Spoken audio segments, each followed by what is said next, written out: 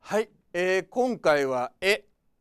エントリーは重要ではないということでございまして、まあ、エントリー、えーまあ、入り口のことでございまして、まあ、普通ね、えー、一般の方々投資家の方々は、まあ、買いから入るということでこの際便宜上ですねこのエントリーは買いから入るということで、えー、定義づけたいというふうに思いますけども。で、まあ、よくねこうどのタイミングでえー、買ったらいいのかっていう質問とかいろいろこう受けるんですけどもまあどっちかというとどのタイミングで売ったらいいのかっていう質問よりもこのどのタイミングで買ったらいいのかっていう質問のが多いような気がするんですけどもでその辺に関しまして私なりの持論なんですけども入り口と、まあ、買いとですね、えー、売り場、えー、これどちらを重要視するかということでございましてこれ圧倒的にですね、えー、後者、え出口、えまあ買いで入った場合の売り時だと思うんですよね。だけども、まあ、世間一般的にはこう買うタイミングを教えてくれとかっていうような形で、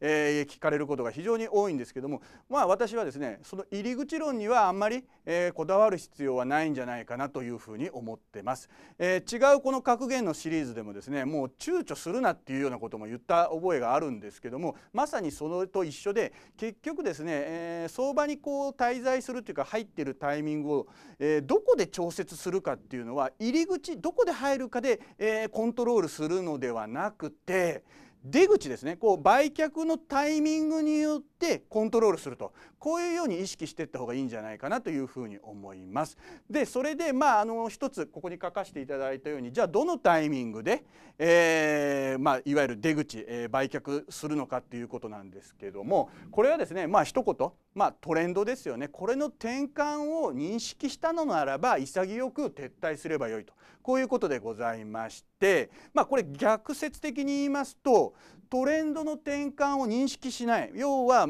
トレンドが例えば上昇トレンドがずっと続いてるというふうに思ってたらそれは、えー、売る必要はないということになるわけでございます。まあ、要は失敗したとかですねあの最初は成功でもですねやがてこうトレンド値は変わるものですのでその時になったら初めて、えー、出口のことにこだわればよくてそっちの方がその調節の方が重要だということで入り口はですねあまり、えー、こだわる必要はないですよというのが今回、えー、申し上げたかったことでございます。ということで、えー、今回はエントリーは重要ではないの絵で